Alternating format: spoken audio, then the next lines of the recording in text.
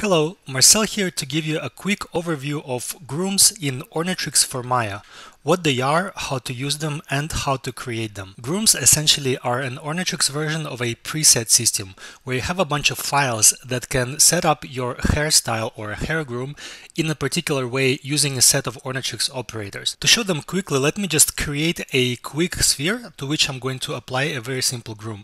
So there are a few grooms that already come with Ornatrix when you install it, and you can use these grooms right away. If I have my polygonal sphere here, I can click on the quick hair button here, and it's going to bring up the select groom dialog.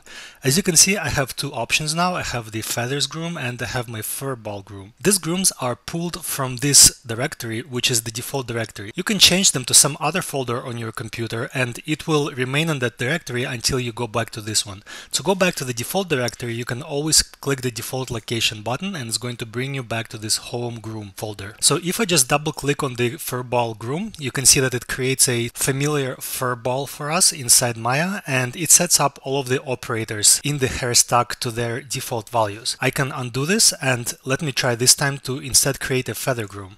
If I create my feathers groom, they are created a bit large at first, but you can see that the stack is different at this point and I can go back and change the length of my feathers to make them a little bit more believable, but essentially we get a mesh that is a bunch of polygonal flat hairs on your character and they have a surface comb node applied to them. Just like applying them to a sphere, the beauty of grooms is that it doesn't matter which underlying mesh you use, so I can use a polyplane and just the same way as I use a sphere, or if I use a character mesh or a sculpt or any other distribution object like that, I can go and apply a groom to it at any point and it's going to use this distribution surface to generate my hair. Another cool part about grooms is that I don't even have to have a mesh per se. I can instead start out with a bunch of curves. So let me just draw a few curves in my viewport. And if I have my curves selected and I start applying a groom, it's going to give me a groom preset which is applicable only to curves. So in this case, hair from curves. If I do this inside my hair stack, I can see that we have a guides from curves node to which we can apply a hair from guides node and we can ground this onto a mesh or do any other operations which are covered in a separate tutorial. If we don't have anything selected, we get all of the grooms available. And for example, I can create a fur ball, but it's just going to create a plane for me to apply the fur ball on onto. So this is not really particularly useful. You typically want to have something selected inside your scene to which you will apply the groom. So if I create my sphere again and apply a furball groom back onto it, I can now go and edit the parameters of this groom normally as I would. And we even get the edit guides shape applied automatically so we can go and style our hair. But let me change a few parameters of this groom. So maybe I can change the length of it and maybe I can apply some operators on top of my hair. So let me add a frizz operator just to make hairs a little bit frizzier. And maybe on top of that I will apply guide clustering modifier just to cluster my hairs a little bit and change the curve to make them uh, spiky like this. And maybe I'll finish off by applying a curling modifier just to curl my hairs a little bit. And I'll curl them less at the top and more down the middle. So let's say I have done a whole bunch of operations like this. And now I want this style of hair to be reusable and I want to save itself as a preset that other people can use within either the same studio or maybe I want to send this to my friends or even I myself can reuse the same style in the future.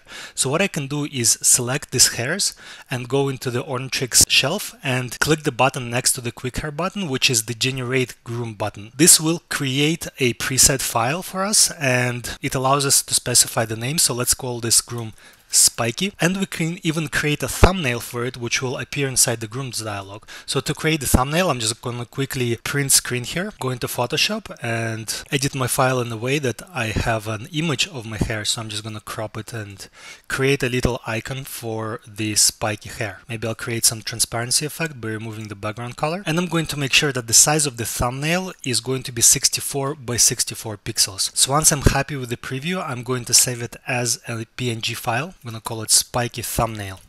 So back in Maya, I can use the thumbnail option here to select my spiky thumbnail file that I have just created. And the last part is to click on this base object is optional checkbox, which will allow to create this groom even if no object selection initially exists, just like we tried before. So I'm just going to click the generate button and the groom has been created for us.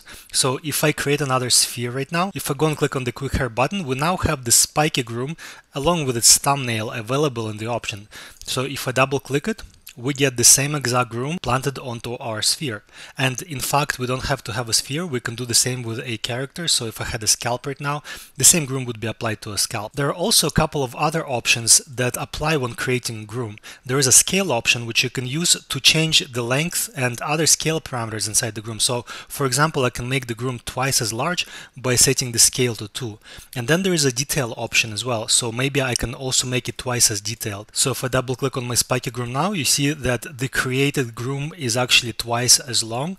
And we also get more definition and more detail on the strands themselves, which means each strand consists of twice as many points as our previous groom and thus has much more detail. If you open up the actual directory where the grooms are saved, you will find these grooms as a bunch of files with an aux groom extension. And these files are entirely self-contained, which means the thumbnail that we generated is also inside of them. So to share my groom, all I have to do is copy this file and send it to whomever I want, or I can back it up for later usage. And if I take one of these groom files and if I open it inside a text editor, you can see that it is essentially an XML file containing my thumbnail inside this data block here. And in fact, I can remove this and in this case, it will use the default thumbnail. And then it has our hair stack here. And the hair stack is filled with a bunch of operators, which are represented as XML elements. And if I open the feather groom, you can see that we also have the same setup, except the formatting here is not as nice, but these elements can also have our parameters and this defines our groom. You don't really have to know about this because all of this is automatically managed and generated by Ornatrix.